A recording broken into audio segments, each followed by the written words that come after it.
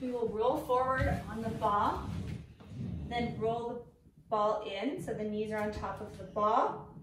And you're gonna lift one knee off slightly, drop onto your hip, and then bring the hips and tailbone back up to the ceiling. You wanna keep the top of your head pointing towards the floor,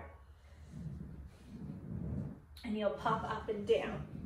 The further down you go onto your hip, the harder the exercise. And you can switch.